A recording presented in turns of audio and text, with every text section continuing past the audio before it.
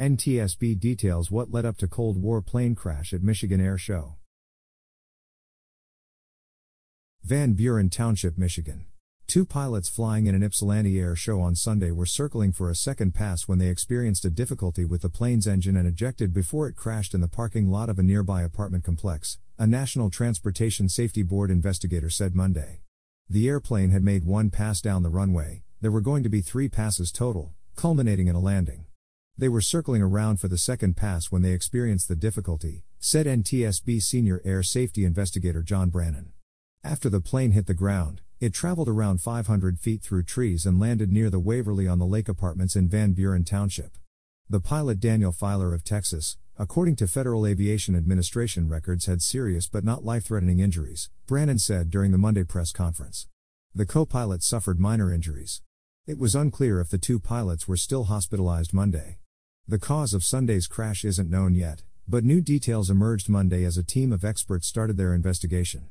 Brannen said the plane experienced engine loss of power issues.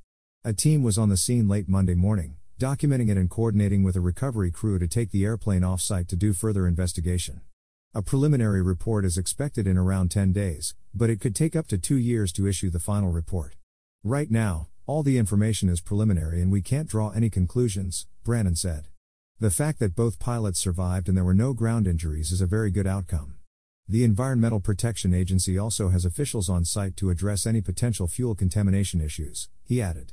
The two pilots ejected from the MiG 23 UB fighter plane, which is a Russian plane, in midair at Willow Run Airport at 4:15 p.m. on Sunday and were rescued from Belleville Lake, according to the Wayne County Airport Authority. The pilots had declared an emergency and ejected immediately, NTSB said. Brannen said the fact the plane is Russian could complicate the investigation. The fact that it is a Russian military airplane and there's no what we call a flight certificate that civilian airplanes have with details of the manufacturers that you can go to for assistance in this, which will make this more difficult, Brannen said. A number of factors can go into why pilots would make the decision to eject from a plane, including altitude, speed, and the type of plane, said Brannen. All of those different factors play a role in that, he said. It varies from case to case. NTSB investigations aim to determine probable cause in transportation accidents. In some cases, they recommend changes for regulators, equipment manufacturers, companies, or state and local governments to prevent future crashes. In video footage of the event, two figures can be seen dropping as clouds of black smoke burst from the plane. The airport authority said the jet crashed into unoccupied vehicles in the apartment complex's parking lot. The plane is a fixed wing, single engine retired Russian military plane built in 1981, according to Brannen and FAA records. Brannen said that makes it even more challenging, because manufacturers often help investigators determine what went wrong in crashes. In this kind of case, I'm not sure what kind of support we'll get, he said.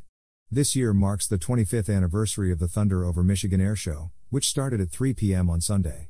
Just before the show began, the president and CEO of the Yankee Air Museum, Kevin Walsh, said the 55 modern and vintage military planes that make up the show are requested from all over the world. The theme this year was Greatest of Thunder, including a performance by the F 22 Raptor I. While distraught, the Yankee Air Museum, which hosts the airshow as the museum's annual fundraiser, declined further to comment on the incident Monday and deferred to the Wayne County Airport Authority.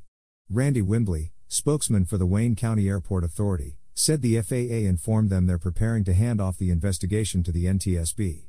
The FAA does not host news conferences on crashes, he added. U.S. Representative Debbie Dingell, D. Arbor, said she had been in touch with authorities about the crash. It appears at this time that both pilots are safe, and there has been no human injury, Dingell said in a release. Completing comprehensive physical assessments to ensure everyone's safety is the top priority right now. The plane hit a silver pickup truck near Unit 18 of the subdivision, and a large portion of the plane, its wheel and dark brown pockets of grass were still visible at the crash site Monday. Crews were picking up debris Monday morning and Emilio Cancel, 28, said he saw crews at the subdivision overnight with spotlights searching through the field since the plane crash. Cancel, who has been a resident of a unit at Waverly on the lake for four years, said he saw the plane crash in the field initially from his balcony. His unit is on the perimeter of the crash site. He saw grass and trees catch fire on the plane's way down and he ran out to the scene. We were watching TV and we heard a big boom, and then we're like, what the heck is that? Cancel said. I looked outside, and all of, a, sudden, I see something boom, blew up right here, he said. The biggest fireball I've ever seen. Cancel added. It was crazy. I felt the shock.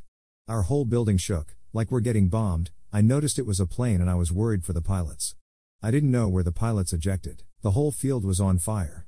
Everything was on fire. It was messed up. He said he believes the fire didn't spread more throughout the field because of rocks that are planted near a spring.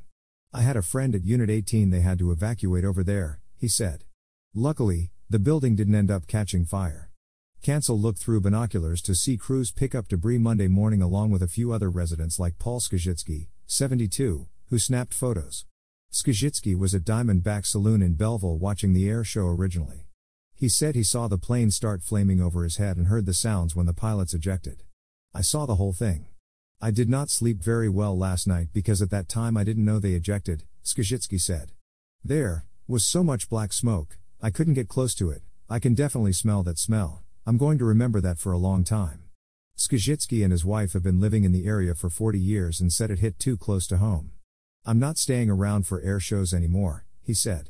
It's always been a worry for all of us. They just lucked out that they didn't hit an apartment. How fortunate they are that it didn't go into I 94. See, 2023 The Detroit News. Visit the Detroit News at www.detnews.com.